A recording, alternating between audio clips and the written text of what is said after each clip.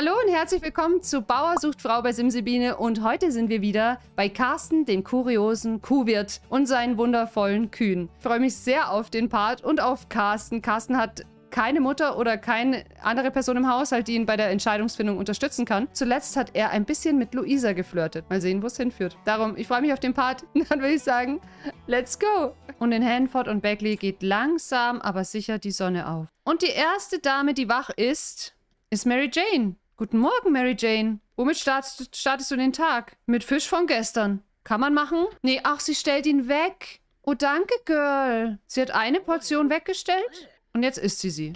Ach, sie hat sie sich nur noch mal kurz kalt gemacht. Die hat sich den Fisch nur mal kurz in den Kühlschrank gesteckt, damit er kalt ist. Und jetzt isst sie ihn. Das habe ich auch noch nie erlebt. Naja, gut, kann man machen. Also Mary Jane gönnt sich ihren kalt gemachten Fisch. Hier draußen Oh ja, das ist, das ist ja unsere liebe Saskia. Die hat ja hier draußen die Landwirtschaft für sich entdeckt. Und sie steht auf, hat zwar ultra Hunger, aber das Erste, was sie macht, ist das Unkraut jäten. Ich bin vollends begeistert von ihr. Ich habe gedacht, so als so eher so alternative eingestellte, coole Socke, dass sie das vielleicht, dass sie da nicht so Bock drauf hat. Aber ich feiere sie hart, dass sie aufsteht und das Erste, was sie macht, dass ich denke, nee, ich esse jetzt noch nichts. Ich mache jetzt erstmal, jäte ich das Unkraut von meinen schönen Auberginen weg. Also ich finde, das ist eine coole Einstellung. Die anderen Mädels sind übrigens auch wach oder sie stehen gerade auf. Ja, einigermaßen fit. Und was ist mit Carsten? Carsten fühlt sich unwohl, weil Carsten hat Hunger. Carsten hat übelst Hunger. Und er hat gerade im, ich glaube, er will sich das nehmen, oder? Aber das ist schon schlecht. Oh, und er wünscht sich, mit Luisa in die Wolken zu schauen. Uh. Dunkelgrüner Daumen. Saskia blüht genauso auf wie ihre geliebten Pflanzen. Sind die aufkeimenden Gefühle ein Hinweis darauf, dass sie Gartenarbeit mag? Ja, Mann, sowas von. Also, wenn nicht Saskia, wer dann? Saskia, du liebst es und das fühle ich voll. Ab dafür. Ach, er nimmt aus dem Kühlschrank und denkt sich, boah, übelst, hier stinkt. Ist das noch, warte, Carsten, ist das noch gut? Ja, okay, viel Glück. Und setzt er sich jetzt zu Mary Jane? Ja, aber Mary Jane so, ich bin fertig. Tschö mit Ö. Carsten sitzt alleine am Frühstückstisch. Was? Und ihr so? Oh nein, die Katze. Nein, die Katze frisst das verdorbene Fressen. Tu es nicht. Kannst du die Katze schimpfen, please? Überfressen von Nahrung belehren? Er ist halt auch schlechter Fisch, sagt der Katze. Sie setzt sich erstmal in Ruhe hin. Sagt, nein, Mann. Nein, Mann. Sag ihr, sie soll auch nicht. Ja, und hier oben sitzen solltest du auch nicht. Nein, nein. Und sie frisst einfach weiter das Essen. Du so, Katze, nein, du solltest nicht das Menschen fressen. Und die Katze so, klar. Und, so, und du solltest übrigens auch nicht auf der Theke sitzen. Und die Katze so, ist mir egal. Ich bleibe jetzt auf der Theke sitzen und fress deinen dein Fisch. Ende. Wisst ihr was? Macht doch, was ihr wollt. Kotzt jetzt die Katze. Jetzt hat die Katze. Die Katze hat auf den Tisch gekotzt. was ein wundervoller Morgen in Hanford on Bagley. also den Kaffee würde ich nicht mehr trinken. Genau, die Katze so, oh, der Fisch ist eh vergammelt. Und er jetzt so, ach Mizi, was soll das denn? Wahrscheinlich hat er es der Katze beigebracht, dass sie sehr wohl mit ihm hier am Tisch sitzen und fressen darf. Kann irgendwer von euch aufräumen, please? Hier stinkt alles. Will sich nicht irgendeine von euch um den Haushalt kümmern? Weißt du was? Ich bin der Meinung, Mary Jane hat jetzt lang genug hier rumgestanden. Die war als erste wach. Komm schon, sie muss jetzt aufräumen. Während er nicht pinkeln gehen kann, weil der Hund, weil der Hund vor ihm sitzt und spielen? Spielen. Mary Jane, jawohl, ab ins, ins Hausfrauen-Outfit und dann wird hier geputzt. Und Mary Jane findet es super eklig. Ach, stimmt, sie... Oh, stimmt. Sie macht ja nicht gerne sauber. Und die Katzen spielen im Dreck. Und was machst du hier? Also Letizia hat ja ganz kurz sich einmal ums Feld gekümmert. Die hat es mal angeschaut, hat über einen Heiratsantrag nachgedacht und dann ist wieder weggegangen.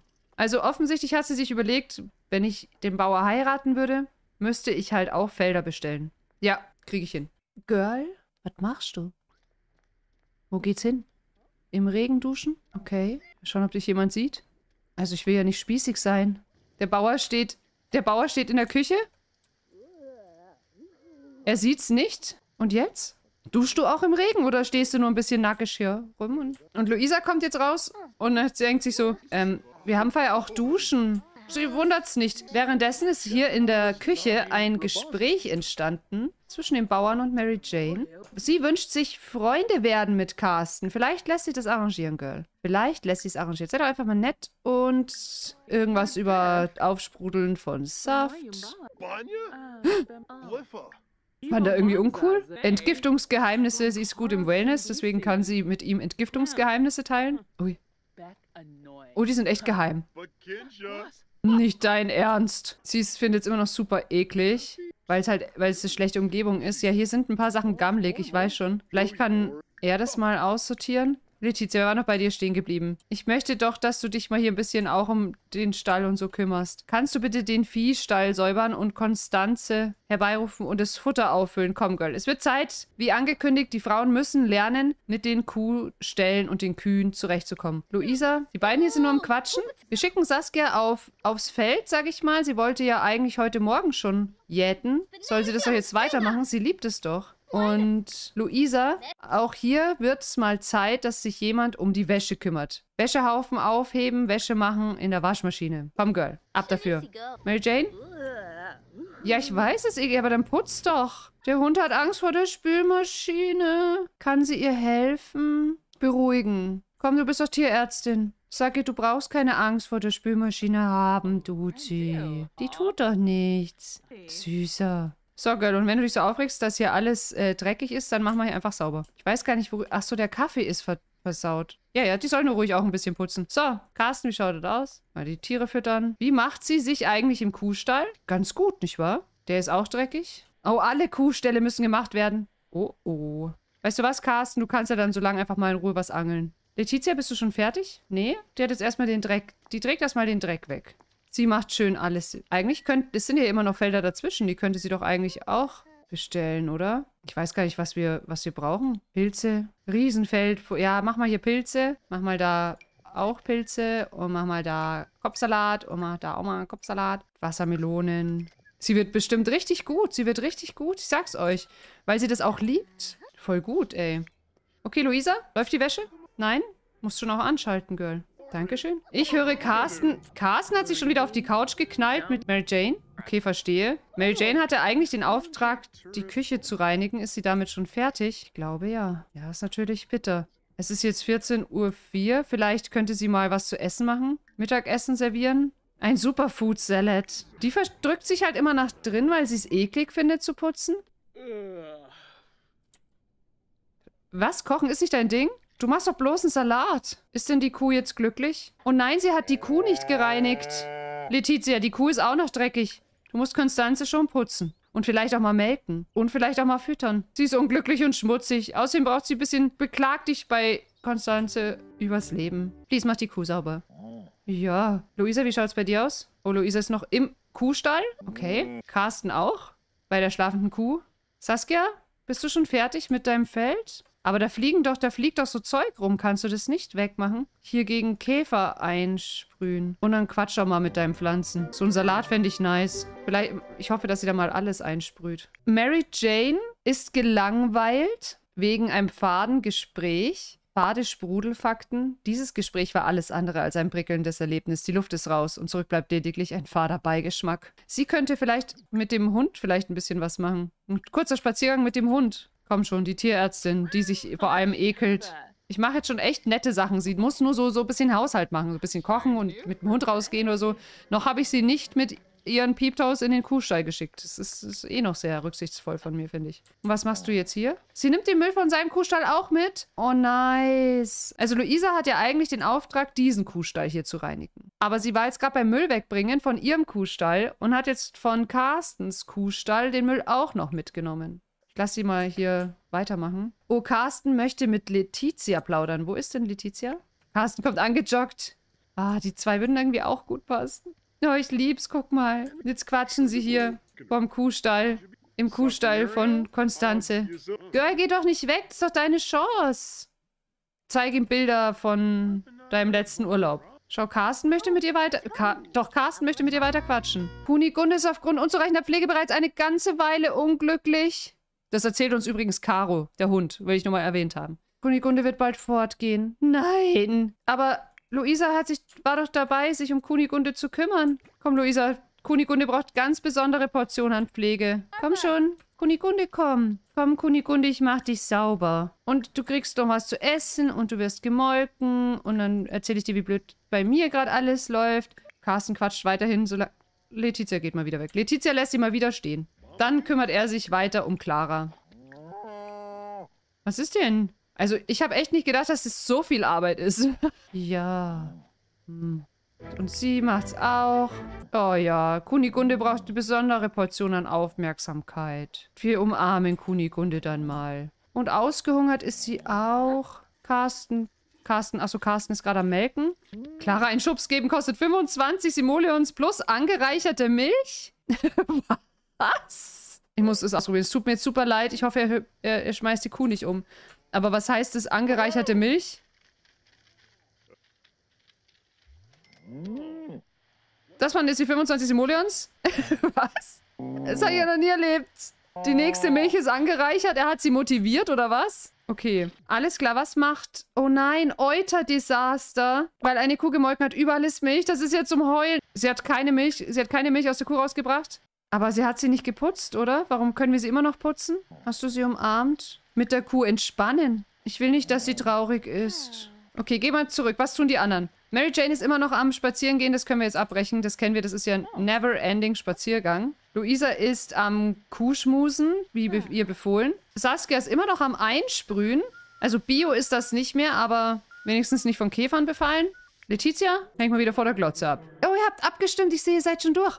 Oh, ihr seid alle... Oh, ihr seid euch alle einig? Ihr wollt, dass er das Einzeldate mit Mary Jane hat. Alles klar. Zusammensitzen. Sie haben echt schöne Aussicht, wenn man das mal so will. Auf das beleuchtete Haus. Und sie haben den wunderschönen beleuchteten Baum.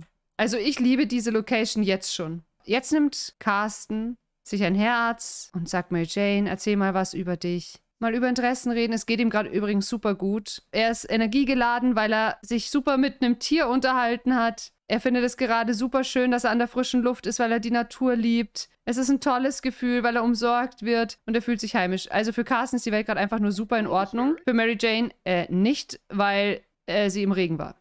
That's okay. Carsten erzählt, sie kann Ina jetzt auch mal ein bisschen was über die Sie kann über die Kälte sprechen, über den besten Geiger reden. Ich glaube, das ist halt das, was sie so ein bisschen interessiert. Und eine dramatische Geschichte erzählen. Da kommt ein Kätzchen vorbei. Okay, es läuft ganz gut. Sie, sie ist... Es geht ihr jetzt auch okay. Sie ist nicht glücklich, aber okay, immerhin. Über Gourmet-Speisen reden. Alles, was ihn halt so beschäftigt, da wird jetzt einfach mal gequatscht. Und sie macht jetzt mal ein Kompliment über sein Aussehen und er macht ihr dann ein Kompliment über ihr Aussehen. Ich kann mir vorstellen, dass es ihm schon gefällt mit, mit dem Kleidchen und dem, den Peeptoes und so, dass, ihm das, dass er das gut findet, dass ihm das gefällt, ist aber vielleicht halt nicht unbedingt das Beste für einen Hof ist. Carsten liebt es, nach Komplimenten zu fischen. Ja, okay. Sie muss ihm mehr Komplimente machen oder die Frauen müssen Carsten überhaupt Komplimente machen. Aber sie verstehen sich gut. Jetzt bin ich gespannt, ob, es, ob das Flirten, also die Komplimente, ob die was ausmachen. Ja, ja, ein bisschen. Ein bisschen. Und er flirtet jetzt mal. Komm, Carsten, trau dich. Hinten schuftet immer noch Saskia. Uh, ja. Und sie muss aber super dringend pinkeln. Oh, okay.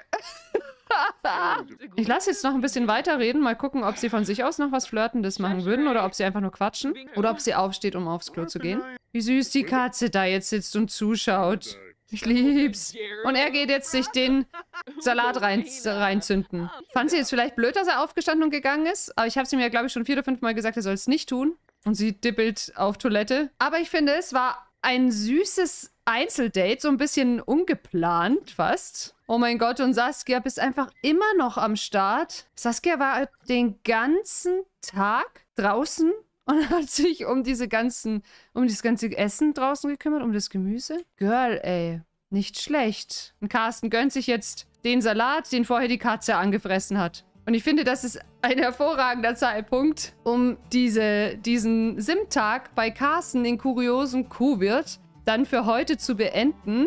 Also bei Carsten, dem kuriosen Kuhwirt, ist heute wieder ein fantastischer Tag gewesen. Wir haben uns viel mehr um die Kühe kümmern müssen und das war, wie wir gesehen haben, auch bitter notwendig. Nicht, dass uns noch eine Kunigunde hier abhanden kommt, weil sie sich nicht wertgeschätzt und nicht geliebt fühlt und außerdem alles schmutzig war. Jede Frau hat so ein bisschen ihren Ort gefunden, in dem sie sich wohlfühlt. Saskia ist zum Beispiel super. Die liebt es, die, die Gartenarbeit zu machen und sich um die Felder zu kümmern. Wir haben sie den ganzen Tag nicht weggebracht von diesen Feldern, wohingegen Mary Jane sich eher so um den Haushalt kümmert. Sie hat es nicht so mit äh, schmutzigen Händen und selbst die Haushaltstätigkeiten sind ihr ehrlicherweise möglicherweise schon zu viel. Aber nichtsdestotrotz hatte sie heute Abend ein wunderschönes kleines Einzeldate mit podcasten. Wenn es dir gefallen hat, freue ich mich, wenn du mir einen Daumen nach oben da lässt oder ein Abo. Dann sage ich vielen lieben Dank fürs Zuschauen und bis zum nächsten Mal. Tschüssi!